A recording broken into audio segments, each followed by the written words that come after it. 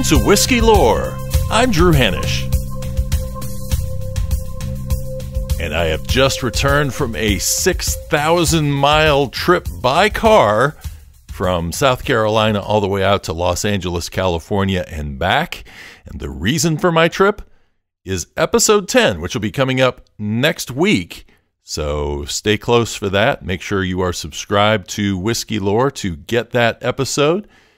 And while I was out there, I had the opportunity to go to downtown Los Angeles, take a little look around. I drove around Hollywood and tried to avoid traffic as much as possible, which is not something you can do in Los Angeles, unfortunately. But I did find my way downtown to a place called Infused Spirits.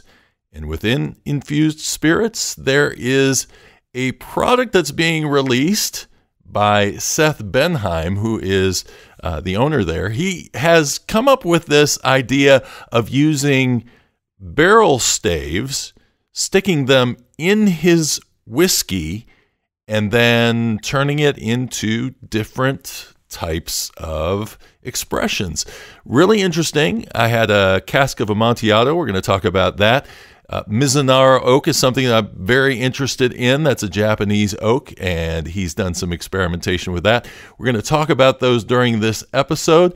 And one of my favorite subjects when it comes to whiskey is talking about peat and peated whiskeys. So we're going to get into all of that during this interview. And also, we're going to talk a little bit about where he gets his whiskey from and it comes from a place that I visited not too long ago on the Kentucky Bourbon Trail.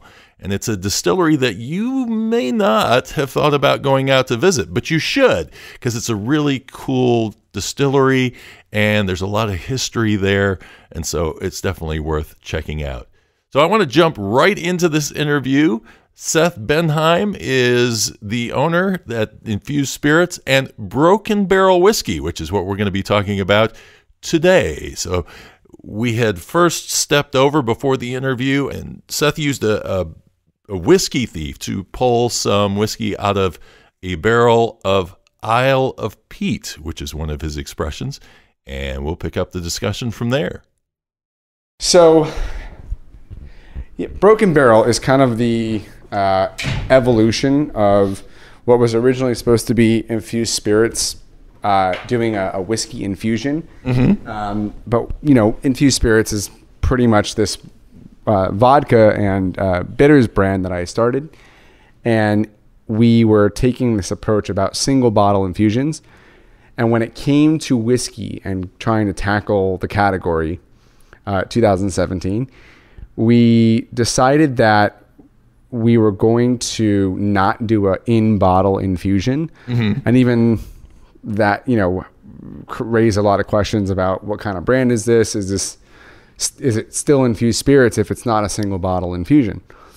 So we did tank infusions with staves, mm-hmm. and we were breaking barrels, and so this kind of very rudimentary concept evolved into a very unique multifaceted approach to whiskey that was so had so much going on so much uh, surrounding it that yeah. it, it, was its own brand. Like it, it, was like a totally different brand that took its own sort of unapologetic, sort of sacrilegious, anti-tradition uh, style of making whiskey because we were breaking barrels, putting the wood in the whiskey, not the whiskey in the wood, and it was kind of a, a, a obscure way of finishing, so to speak. And we, you know when we started doing this, finished whiskeys weren't really popular, at least for American or U.S. whiskeys. I mean, it's really blown up in the last four or five years. Um, and even if you do get one, they are usually putting um, staves in just, or they may pour it into a whole new well, yeah, uh, there's, barrel. There's the maker's mark approach, which is to put additional staves on a ring into a barrel right. and then fill that barrel and build a barrel with twice the amount of wood inside of it. Um, there's even innovations now where you can order barrels that have grooves cut into them mm-hmm. where the actual staves that comprise the barrel okay. are like triple the surface area or quadruple the surface area because they've they've created like these ridges and grooves that have more uh, contact of oak to whiskey. But it was that very concept that we said, okay, we're putting so much more in contact because when you think about a stave and the stave being submerged fully into a vat of whiskey, you have the back, the fronts, the sides, all in contact. Some of it with prior contents that are affecting really one and maybe depending on how much it bled into sides of the staves. Um, you have this concept of okay, we're going to put the wood into the whiskey, see what happens. But for our core brand, the core everyday items that Broken Barrel produces and offers at a pretty, you know, uh, good value, I would say, under you know, under fifty bucks for everything we make. Right. Everything we make has been under fifty bucks to date, um, or should be. I mean, people may char- people may charge more for it, but that's Yeah. you know maybe because of availability or if it was just some of the stuff we're going to try is discontinued. So Right. Right. um, but yeah, it, the triple cask uh, concept, three kinds of oak on these core whiskeys are pretty unique that you're getting all three oaks interacting with the whiskey at the same time, same season. Yeah. So if you were going to say, oh, I want to make a bourbon and I want to release it and finish it with more bourbon barrels, some French oak, and some, um, let's say, a sherry cask, which is which we call the composition of those oaks the oak bill. You know, we talk about mash bill all day long, right. but time in the barrel, type of barrel, finish in in a different kind of barrel. These are the things that are really, in my mind, driving the bulk of the flavor. I mean, yes, a, a single malt whiskey, very different than a bourbon Yeah. all day long, Yeah. uh, or a straight wheat whiskey, or a, or a hundred percent rye whiskey. So, so what made you? Um, and did you initially choose corn as as the direction to go with um, with your whiskey in doing we this? we started if you go if you're going back and you find an infused spirits labeled Mm-hmm. broken barrel bourbon and you look at the uh, the mash bill it was um, I'm trying to remember what it used to be because I know what it is now. It's now it's 70% corn, 21% uh, rye, 9% malted barley. Before that, it was 75, 21, 4. Okay. So we've increased, we've oh, we've more than doubled the uh, content of malted barley at 9%. We've decreased the corn by 5 and we've increased the, uh, uh, what's it called? No, we actually left the rye uh, right where it was. okay. So same rye content. Yeah. And we like that. 21% rye is great rye content. We're very happy with that. Um, we like that the whiskey we use for the core lineup is uh, from Owensboro, Kentucky. We like the Green River, uh, formerly uh, OZ, Tyler, Tyler. yeah. Formerly before that, Medley Bros. and before that, they had a different name. But Yeah. if you follow the history back, and maybe part of the historical element here is Yeah. To talk a little bit um, as you as you elaborate on this this subject and this brand and any kind of historical ties. This distillery that's producing this whiskey in our in our that we've contracted and again not the distillers uh, on this product. We are sourcing, but we're, where we hang our hat, so to speak, is the process yeah. how the barrel breaking, the oak bill, those are the things that make this a unique whiskey. In addition to where it's coming from and who's distilling it and the history behind that site, which is DSPY, uh, DSPKY 10, Yeah. distillery number 10, like one of the oldest issued licenses in the state of Kentucky, the, the, you know, the motherland of all bourbon whiskey, right? Yeah. So it's kind of uh, special to us that we get to work with partners like that, and we're growing with them. They're they're relatively new to laying down and putting out um, bourbon and rye whiskey, considering they only started really laying down product in 2016. So us launching our first whiskey with them in 2017, that was a one one year and a day old whiskey.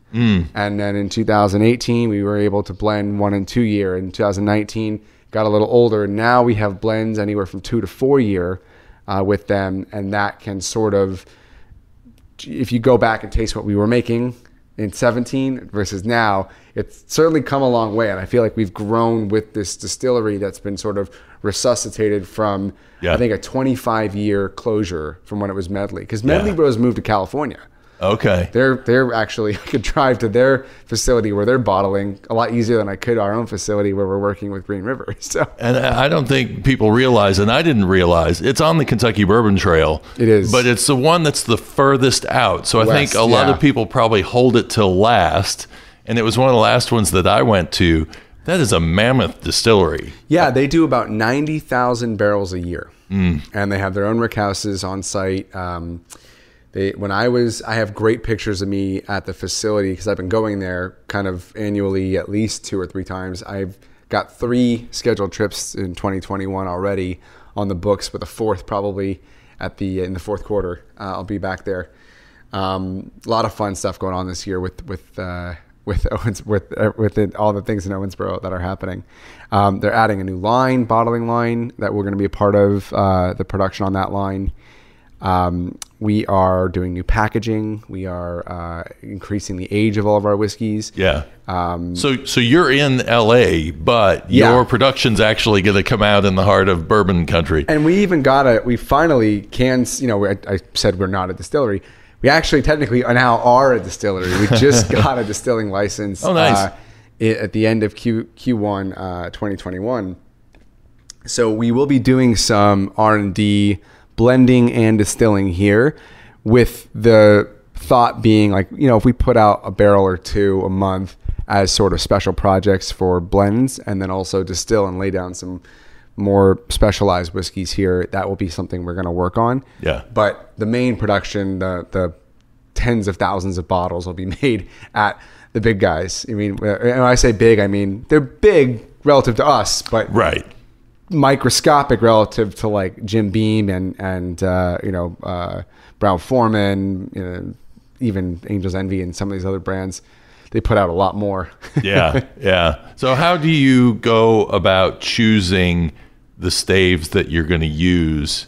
Um, because you're really almost blending before blending. Um, yes, it, it, I would equate it to like cooking.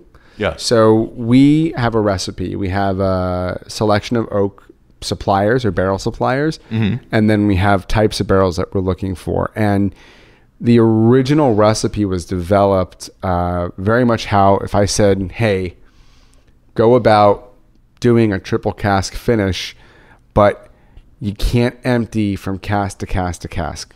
So you can't take a whiskey or a vat of whiskey and then fill bourbon barrels and then dump them in. You're not allowed to do that. Yeah. That that option's out. So what do you do? so the next the next idea was okay, we'll age one vat with French oak next to it in the same room, same temperature, same environmental, uh, you know, height, heat, everything uh, that you think could affect the interaction between wood and whiskey. Uh, keep that all exactly the same. So then you have another vat next to it with uh, French oak, and then a third vat with um, uh, what's it called? Uh, sherry cask. Okay. And then you let all three age for the same exact amount of time, same exact whiskey in each vat, and same amount of oak. And then you ex- you, pull samples, and then you start the blend. Yeah. So you blend. So we did 50-50. We did you know a third, a third, a third. We did we tried a bunch of, and the winning recipe ended up being 40, 40, 20. So 40% of the bourbon, 40% of the French oak, and 20% sherry cask. It was that sort of hint of sweetness, that finish, uh, which you'll get to taste in, in a moment here. Yeah. Um, that was kind of how we came up with it. And then we said, look, will this have the same effect if we do it all at once? And it actually came out even better doing it all at once and doing it, you know, on a on a larger scale. We've been very fortunate, very lucky that the things we've tried on on a single bottle scale or even like a five gallon Gatorade jug scale Yeah. we've been able to not only replicate it but improve it at mass and one of the nice parts about the process has been the a bit you know if you fill barrels and the barrels are full really what more are you going to do other than dump more whiskey into more barrels and then try and blend in a larger batch suddenly you may have too much product Yeah. We don't want to go too heavy on the supply side, especially not knowing if all of it's going to sell and how quickly.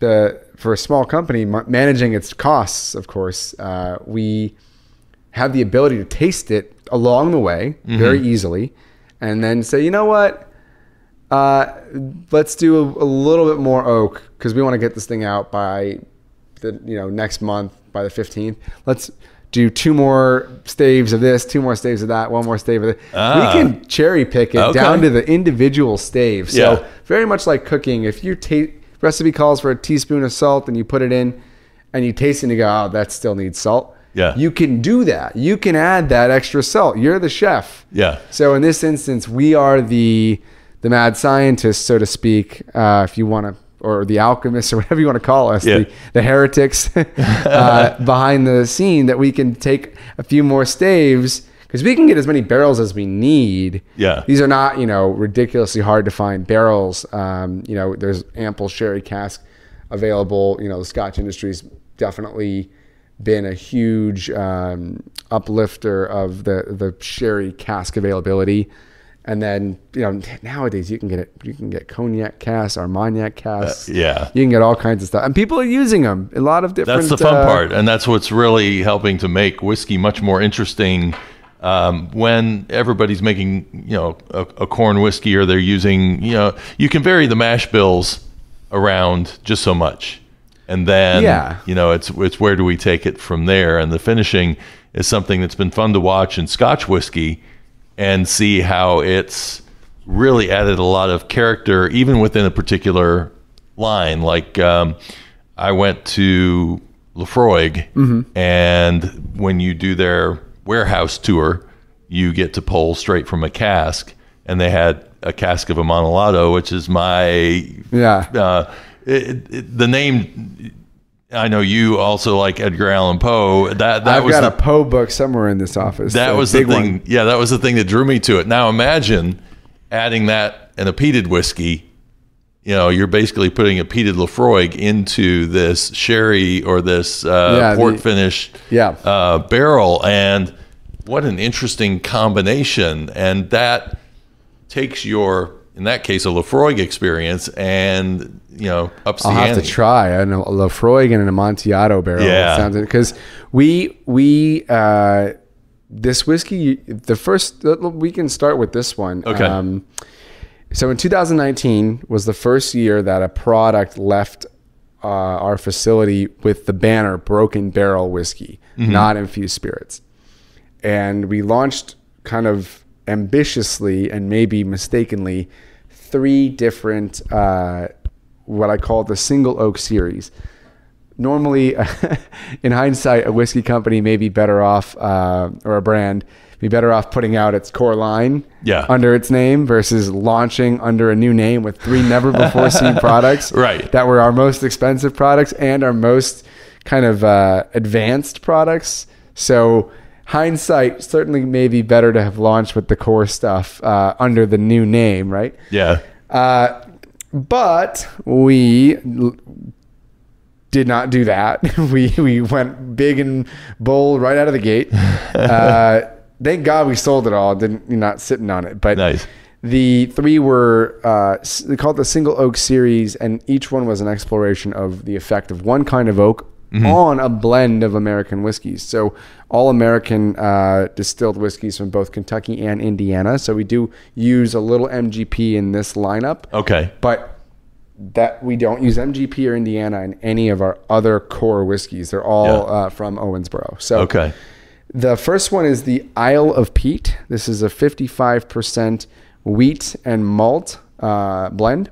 interesting. So it's got 0% corn. It's a 95% uh, wheat, 5% malted barley with Yeah. a 100% malted barley. So, what made you think of going with wheated when doing a um, when when putting it into a well, uh, actually the opposite, putting uh, a peated stave into So we went with uh, a business partner of mine is in the Scotch whiskey trade, and they are an independent bottler of several different distilleries. We were able to get our hands on some 15 year old Laphroaig barrels. Hmm. So we dumped the Laphroaig barrels into the blend, and we loved the way it came out. We tried bourbons, and we tried corn whiskeys, we tried wheat whiskeys, we tried rye whiskeys, and none of them took to the the peat well. Yeah. It was malted barley. I mean, it, it makes perfect sense now why there are so many peated scotches and very few peated bourbons. Peated bourbons don't taste very good. Yeah. I've tried several different ways of doing this, and I've even read articles from people over at like Westland and High West who have tried to m- merge peat and bourbon, and it's not very good. Like people, something about corn, Yeah. and the sweetness and sort of mouth profile and flavor profile. It's very juxtaposing to the sort of iodine, salty, briny, and yet smoky and earthy nature of peat. Yeah. And so they're very disagreeable uh, uh, flavors that don't like each other. Um, meanwhile, wheat I found to be a little bit creamier and softer than corn, um, and also a lot smoother. And a lot of people love, you know, Weller or Maker's Mark as wheated bourbons Yeah. for being really smooth versus rye being a little more spicy. Um, but this wheat really mellowed out the uh, the maltiness, for lack of a better term, of the single malt. And both are very young, but they were really advanced in their profile and sort of age, estimated age. Yeah. When I did the process of adding the Laphroaig barrels. But what you're tasting today is something that I then rebarreled about two barrels worth of it. Yeah. In Ardbeg barrels. Oh, nice. Now, if I can get my hands on some Lagavulin, I'll call it the Holy Trinity of peat. Um, Absolutely. So maybe we'll pull them out of the barrels and then let them uh, broken barrel it with a little more oak bill Nice. of some Lagavulin, and then we've got the uh, three different casts from the three you know largest peat producers. I would say Yeah. the big three. So get uh, get all three in there. But yeah, this is just a nice light. The entry proof on the barrel here was uh, 110 proof, mm-hmm. so not too strong. Um, I don't believe it, it has picked up any proof since I put it in there. And this has only been in the Ardbeg barrel for about three or four months now. Okay. How long do you usually tend to? Uh, This is this is this is just uncharted. totally, totally ex- This is just on taste. Yeah. This is just on taste. and we're not getting to taste the outside of the barrel. That's what's interesting about breaking up the staves is that you're not only tasting what uh, history it had inside, but you're tasting what history it had outside. I mean, you know, like if you if you think about like ordering sushi and they say like, okay, it's got salmon inside and albacore on the outside. Yeah. This is kind of like a sushi roll in that it was the inside and outsides of a Laphroaig barrel. Now it's the inside of an Ardbeg barrel. Yeah. And unless I break up these Ardbegs and put them back into it, you're only going to uh, experience the inside of the Ardbeg. And if I can get my hands on some Lagavulin, then maybe the outsides of that. So inside, outside, inside. You know, we may have to specify on our on our uh, label when we do release this, when we release this. Who knows? yeah. But this is basically the Isle of Peat. And then Okay. there were two more in the lineup. Um, we did one called Mizunara, which was a corn whiskey blend, four and five year old product, uh, finished in Mizunara, finished with sorry with Mizunara barrel staves. And then we did uh, the cask of Amontillado, Yeah. named directly after the name of the Edgar Allan Poe. Uh, Amontillado being a Spanish uh, sherry. So we we had all three of these bottles have great artwork, and that one's actually a 12 year old and five year old uh, whiskey blend. Okay. And I'll actually open that up for you to try. Oh, next. nice. Yeah, that was. Um, I, I did a tour at Laphroaig and got a chance to do the uh, the tasting, and I don't know that they ever bottled it. I think it was just for the tour. It was like here is an experiment that our master distiller liked enough to uh, open up to us to be able to taste. So. Um, and what would be fun is to be able to taste what uh, Amontillado tastes like because I've never tasted it uh, before. So I have uh, Oloroso sherry here, but I don't have Amontillado. okay, I was that was the other question I was going to have. When you're using sherry barrels, um, are you using P- uh, PX cask or are you using? Uh, when when we're Oloroso. using uh, we are not for the broken barrel everyday products that's our small batch 95 bourbon Yeah. our 105 um, rye and our our cask strength we are not using uh, spanish sherry barrels we are using american sherry barrels oh, okay. okay. um, and so being in california we have access to some pretty uh, fresh uh, sherry barrels that aren't crossing the ocean and you know we, we've obviously what you're about to taste is you know some of the oldest you know this is 20 something year old amontillado sherry it's corn whiskey it's got a really fascinating blend to it.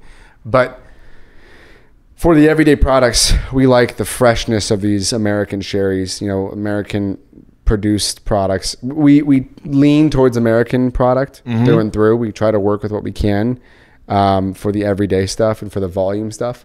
Um, we like to keep it very accessible. You know, we don't want to have a certain uh, let's say like a, like a winemaker or a producer, like we don't want to marry ourselves to a wine or a, or a sherry Yeah. that may not have availability during our sort of ebb and flow of what we need.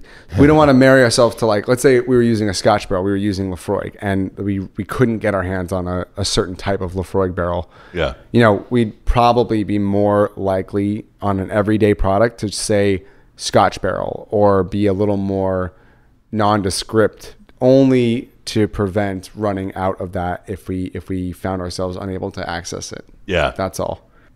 So this has like dark fruit on it.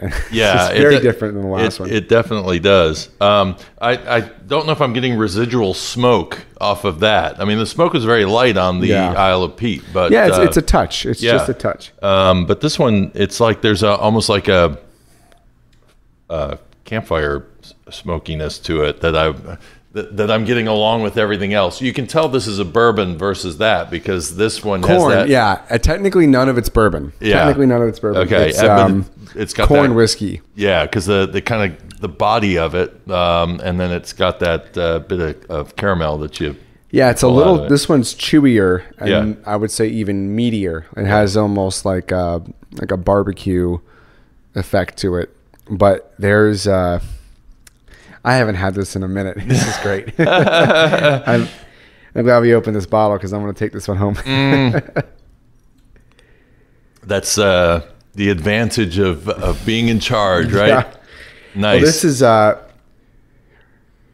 well, yeah, maybe you could take that one. I'll grab another one. Um, the uh, 55%, 110 proof on this as well. So both of these are 110. Okay.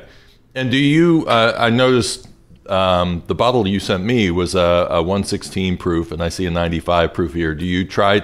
Is there a range you try to stay in, or you just kind of feel it from um, uh, from each whisk from each whiskey style? Once we once we land on a proof we like, Yeah. and it becomes part of the core lineup. I mean, if these aren't single barrels, so they aren't going to stay the same proof.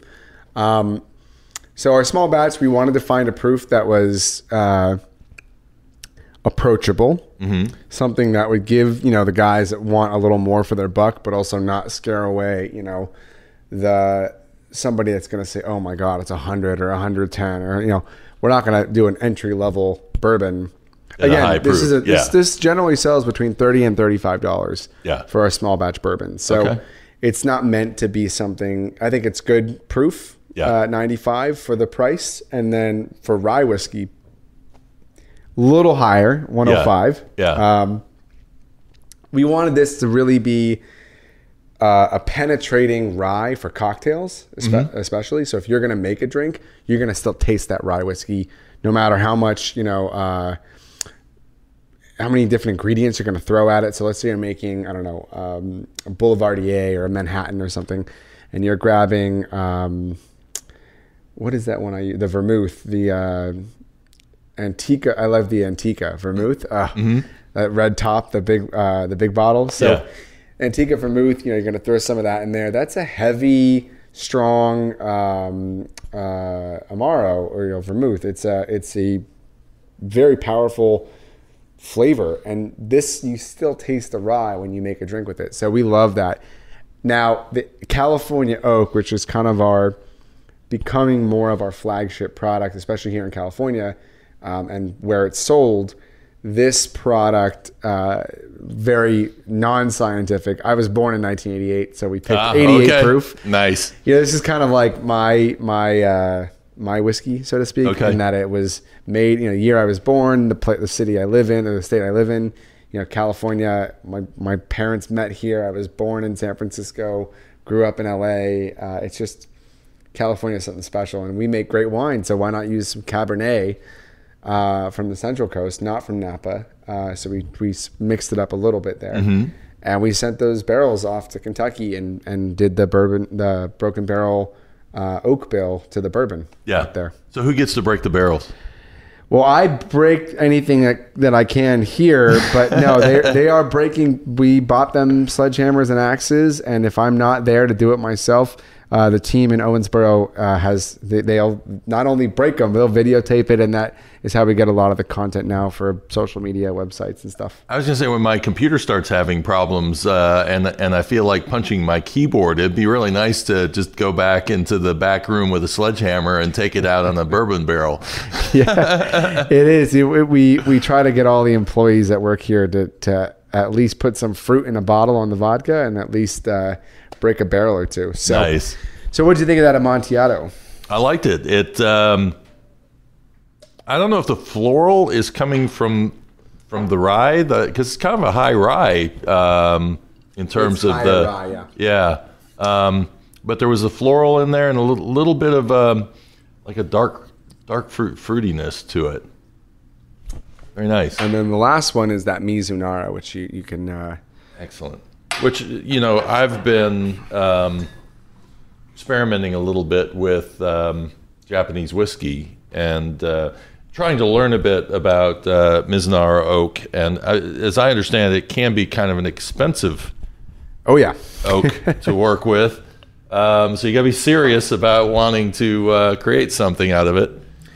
it's expensive. You know the the one uh, beautiful thing about the way we make whiskey or, or or process it with the oak bill is that we're not worried about leakage because we're just dumping the oak right in. So Yeah. I know that there are some horror stories about filling and and trying to keep the uh, the integrity of a barrel made with Mizunara. You know, there's tremendous horror stories of loss and leakage and, and spillage and all that. And thank God we're not dealing with that. So Yeah, I, you- I you don't actually- envy. I don't envy that. You have the solution for that actually, Well, because uh, yeah, we were able to pull a lot of nice sort of apple um, sesame flavors out of this one, and it's got a much. This is going to be the lightest whiskey, not just in proof, but in just general flavor. This is a. You can just tell by the color. This is a much much lighter whiskey. This is way more akin to like an Irish or um, uh, younger Scotch, like a Highland whiskey. Yeah. But I still get like a little toffee out of that. It's funny how my uh, my taster is less sensitive right now, and there are certain flavors that just pop out to me over other ones. Um, the fruity flavors kind of tend to uh, stick out. There's a little like light caramel on that too, and it's um, it's interesting because this is uh, also four and five. Uh, this is the four and five year corn whiskey. Yeah. So what's really nice about the single oak series is for the for the last two we've tried, you get a much bigger impact from the oak.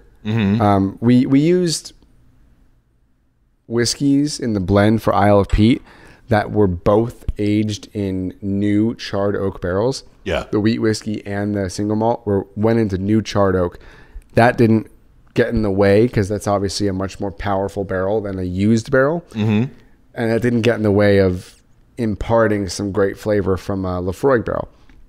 Laphroaig's real strong. Yeah. So it, it can it can balance nicely with a strong um, first fill barrel. The Amontillado and the Mizunara are blends of two different whiskeys each, and both whiskeys in both blends are used barrels. None of these whiskeys saw new charred oak at any point in time. Right, which is which is why they can't be bourbons. And that's Even why if- they can't be bourbons. They had bourbon mash They even bill. say Yeah, on the label corn whiskeys. Yeah. And you know, if, if, if you have a bourbon mash bill, but it goes into a used barrel, that's Yeah. a, that's a corn whiskey or an American whiskey, but you can't call it bourbon. Okay. And so, what's cool about these is used barrel aged whiskey still has a lot of flavor to accept yeah, it can take on Amontillado. I mean, look at the color difference between the two Yeah. different oaks, right? Yeah. Um, and I'll tell you, like the the twelve year old in the Amontillado blend was no darker than what's in your hand, the Mizunara. So really, that sherry clearly had a, a color impact, and then the Mizunara really did not do a, a tremendous uh, amount to the color. Well, I appreciate Seth and his time that he took today telling us a little bit about Broken Barrel Whiskey. There's more to this interview, and if you're a Whiskey Lore Society member, you can hear it by heading to patreon.com slash whiskey lore. And by the way, I did see the three whiskeys we talked about today while in Kentucky, so check your local retailer. You can learn more about Broken Barrel Whiskey by finding them on instagram.com slash broken barrel whiskey. Whiskey Lore is a production of Travel Fuels Life LLC. Find show notes and more at whiskey-lore.com slash episodes. And until next time, cheers and mhath.